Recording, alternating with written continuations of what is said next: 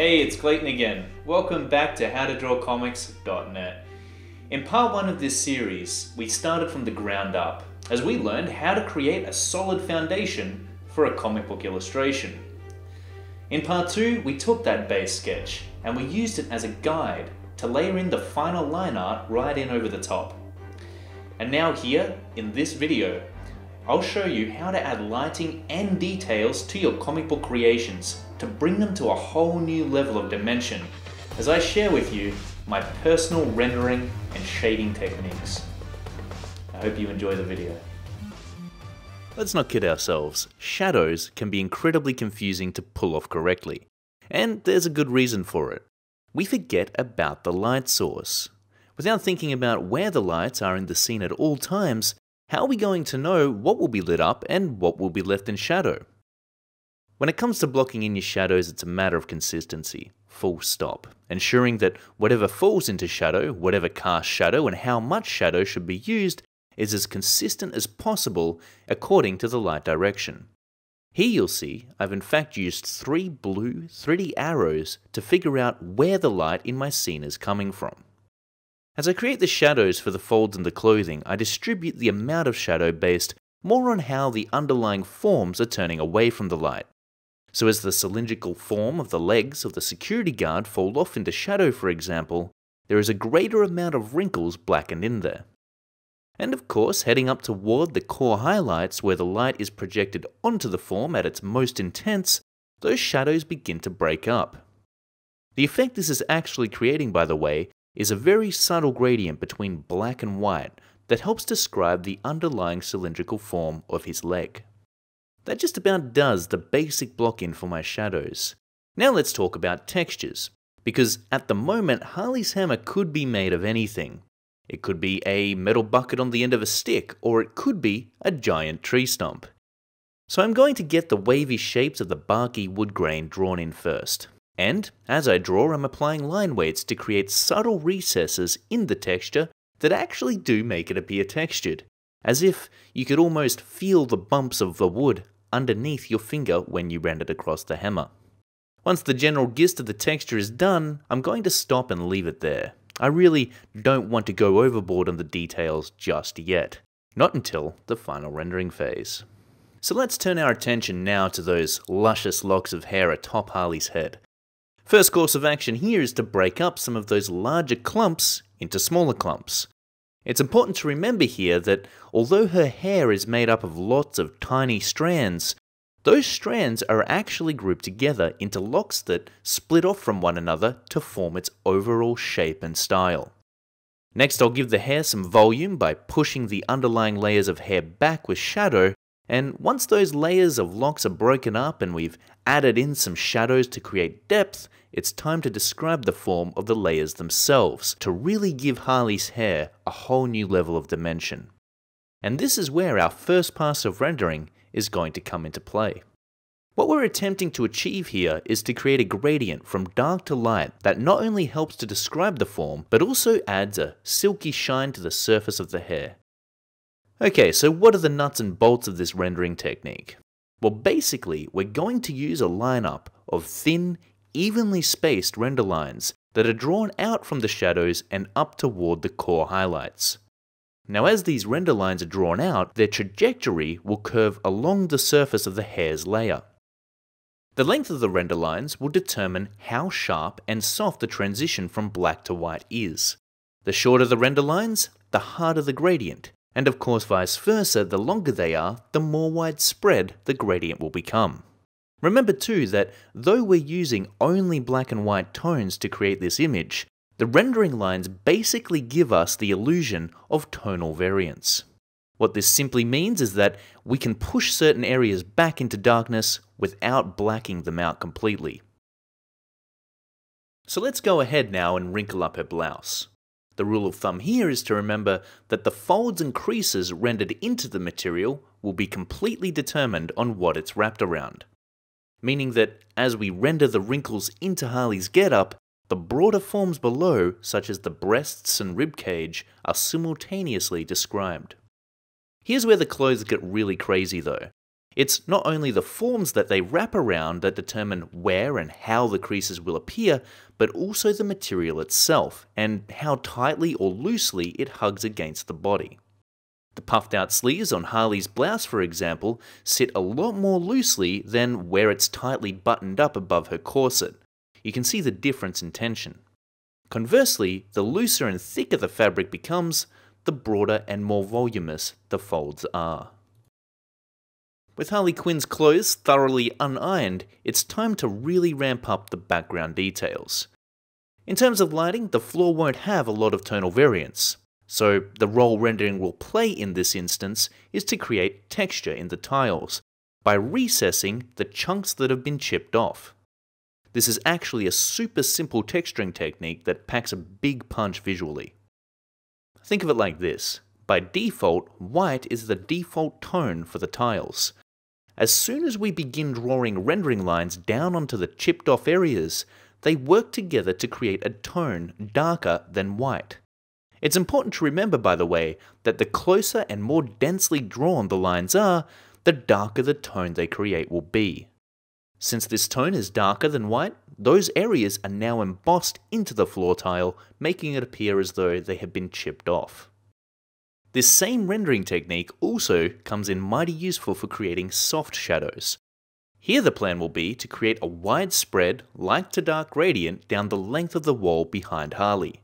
This of course will add to the environmental lighting overall, but it will also help Harley to stand out a little more by adding a nice contrast between her and the background. The bottom of the wall will almost be completely covered in rendering lines, since that's where most of the soft shadows will cluster. Let's say I want to then bring the gradient out into a lighter tone. Well, that's easily done too by simply breaking up the render lines as they track up the wall toward the light. This varies the distance between them and effectively creates a brighter tone by diluting their density. Okay, let's talk about how we can continue creating this gradient effect, while at the same time adding to the roughage of the wall behind Harley Quinn. Because, in case you couldn't tell already, I'm really gunning for that ultra grungy, dilapidated look. Leaving those walls clean and pristine just isn't Arkham Asylum style. So I'm going to go right in there with a metaphorical jackhammer to bust the place up a bit.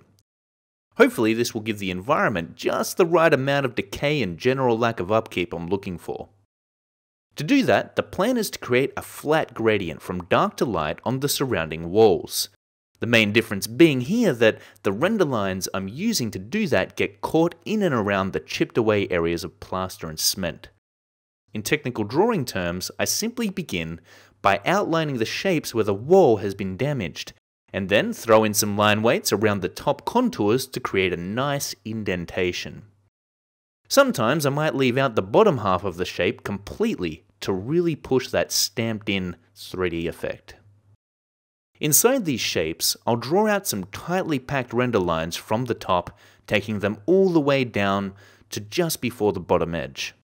This creates a nifty embossed layering effect that causes the wall to appear as though it's almost been eaten away. Again, this is just adding to that grungy dank atmosphere I'm looking for in this piece.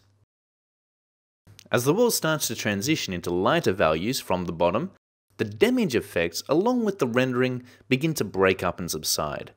This is really a kind of visual trickery to indicate the shading for the environment overall in relation to the light source.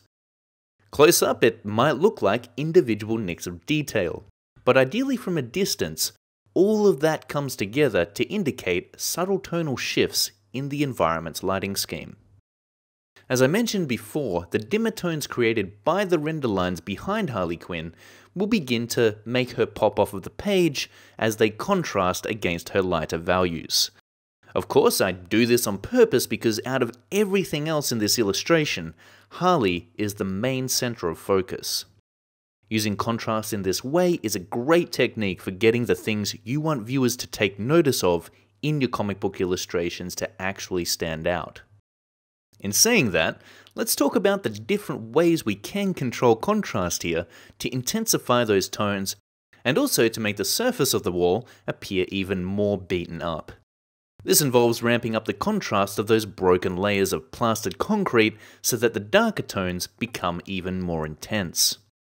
Tonal intensity is increased by throwing down some adjacent rendering lines across those I've already drawn in.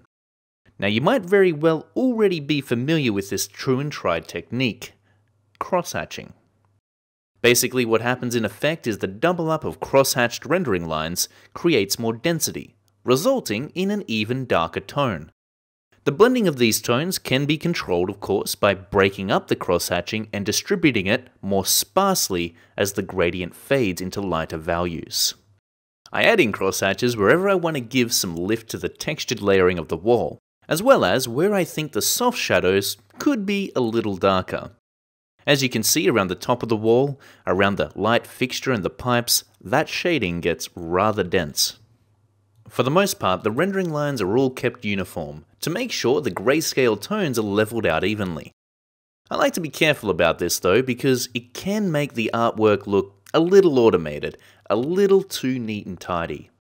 So I like to add in a touch of variation within the rendering lines by breaking them up a bit and adding small nicks and dots of detail around the place to give it some character.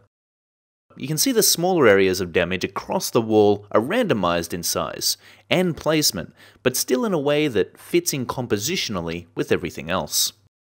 This makes the illustration look more natural, because in the real world that's just kind of how things are. Organized variation.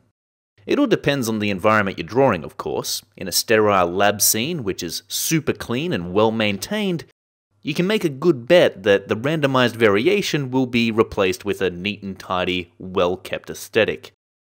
But you still might throw in a few stray papers, cabling, computer monitors, and off center filing cabinets to actually make it less like a display lab and more like a real one.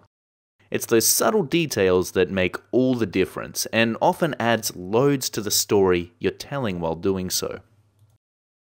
What makes this style of rendering so unique is that it serves to be very much multi-purpose, in the sense that on the one hand you can use it to shade and create contrast, yet on the other hand it can be used to create textures and to add in detailing effects. With a variety of uses like this though, knowing the technique will only get you so far. Because a lot of the decisions you make along the way as to where and how much rendering should be added into your comic art becomes a gut instinct type scenario. It comes down to a general feel and judgment that ultimately only you can decide, since rendering and detail really are what leaves the artist's stamp of individuality within their work. The interesting part is that the detailing, shading, and rendering phase itself doesn't really require all that much technical thinking. With a large amount of the background walls completed, I'm going to jump into drawing the shading and details in for the security guard. As you can see, most of the guard's anatomy is covered up by his uniform, so now we have an opportunity to take a closer look at how to render clothing specifically. Despite the folds and wrinkles of the material, the easiest way to render clothing straight up is to keep in mind the underlying form it's wrapped around, as I said earlier. It makes sense, really. After all, a stocking on its own is just a, a, flat piece of material. Stuff it with a cube, a cylinder, or a spherical block, and that stocking's form suddenly conforms to whatever shape it's filled with. You can think of these base cylindrical and spherical shapes that make up the legs, arms, and body of our guard here as primary forms, and the wrinkles and folds of his uniform as secondary forms. Those primary forms determine the way the secondary forms are rendered. For the clothing folds themselves, I use smaller rendering lines since oftentimes their tube-like forms are quite sharp and thin. The open areas within them, which sit directly against the leg, are shaded with longer render lines to create a softer gradient. This goes without saying, but again, to get this right, the key thing to remember at all times is the lighting direction. As you can see, the background is quickly becoming very busy, and this is really where the ability to balance details and rendering becomes super important. Because otherwise, what we'll end up with is a visually unreadable, muddy mess. The issue we have here though is that working in so closely on the different parts of the illustration to detail it out makes it hard to know how the comic art is coming together as a whole. So, how do we combat that? How can we ensure that the viewer doesn't become disorientated by all that detail? Well, there are a few things we can use here to strategically structure all that high density detail in such a way that we can almost guarantee our artwork won't transcend into a blurry mess. Which kind of relates to my first tip here squinting your eyes to blur your vision. Sounds strange, I know, but basically, what this allows you to do is to change your focus from the individual details inside your comic art, such as the rendering lines, to view the actual tones and contrast they've been put there to create. If you can't make out the forms or you're finding it hard to tell what it is you're looking at in the illustration, then it's highly likely the rendering and details are not balanced correctly. The other really useful tool you can use to check whether or not the detail in your comic art is reading right is the Navigator panel. Now, if you've never used this before, you're probably wondering what the heck I'm talking about. Well, the Navigator panel is actually found inside the application I'm drawing my illustration of Harley Quinn in, Manga Studio. In fact, you might be able to spot the Navigator panel in the upper right hand corner of the screen there. Now, the main function of the Navigator panel is to allow you to do just that navigate quickly around your artwork when you're zoomed in close in the main window. Most graphics applications, such as Photoshop, also have a Navigator panel that does very much the same thing. But the biggest advantage to having it up there is that it shows you the entire illustration from a distance. Again, what this means is your attention is taken away from all those individual details and instead you're able to tell straight away whether or not the artwork is reading properly as a whole. The coolest part about this is I can glance over at the navigator panel on the fly as I'm working to make sure all is coming along smoothly. Remember Harley Quinn's hammer?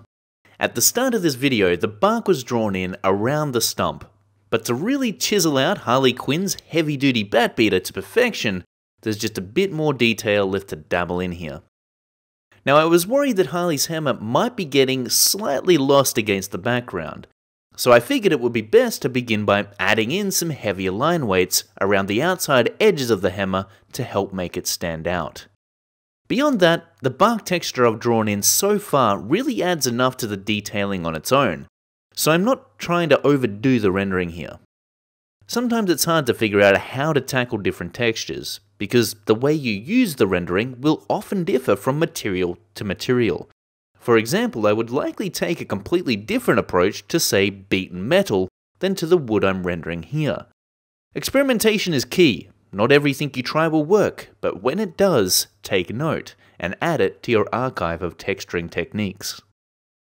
At the end of the day, sometimes the first rendering pass is not necessarily the best, and if something's just not quite looking right, then that's it, it must be addressed. Harley Quinn's boob shading presented such a situation, and it was because the rendering lines were just so dense that the light to dark fall off wasn't quite soft enough. Less cross-hatching and longer rendering lines were the remedy to attend to this hiccup, and ultimately it was another less is more type scenario. I have a tendency, I think, to sometimes go all out with the cross-hatching when really it's just not necessary. Knowing this, I've made it a habit of mine to place my crosshatches on a second layer in Manga Studio above the rendering lines I've already laid down, just in case I decide at some point that they need to go.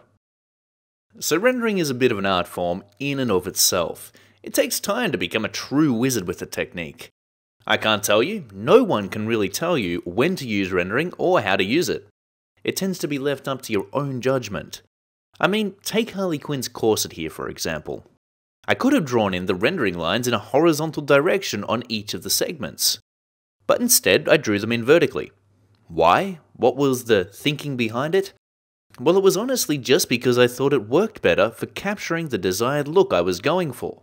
Having the rendering lines run straight up and down instead of crossways, and by gradually adjusting their length and spacing, this approach simply did the best job in creating the soft fall off I wanted to fade into the shaded areas of her lower body. If the rendering isn't quite sitting right for you in one direction, erase it and try another tactic and tweak the rendering lines until you get just the right gradient. Alrighty, winding up this comic book illustration now, I'm drawing in Harley's fishnet stockings. The important thing to remember here is that the netted part of her leg should be drawn on in such a way that it follows around the cylindrical form of her thigh. Paying close attention to the curvature of the stocking lines and the way Harley's leg is foreshortened is what's really helping me out here. And just before we wind up, there's a little more damage control needed where Harley's hand is concerned. Again, I'm a picky perfectionist when it comes to my artwork, and her hand was ever so slightly not sized up correctly. So I place a translucent piece of digital tracing paper on a new layer above the rest of the illustration, and begin quickly whipping up a new and improved hand that'll hopefully please me more than the last. And now it's time to add the last few cherries to the cake, where with a keen eye I fill in the easy to miss blanks with a few last dabs of detail and rendering. Sometimes these smaller, seemingly insignificant parts of the illustration manage to slip underneath the radar. And it often happens when my attention is divided between parts of the illustration that need fixing and the areas that are still left to be finished. Or sometimes they're just not as fun to work on, so they get neglected. We're ready to sign off and call it a wrap, folks. Hey, thanks for watching. If you enjoyed this video, remember to subscribe for more comic art tutorials. If you'd like to be kept in the loop on up and coming videos, articles, tips and tricks, you can also subscribe to the howtodrawcomics.net newsletter. Until next time, see you later.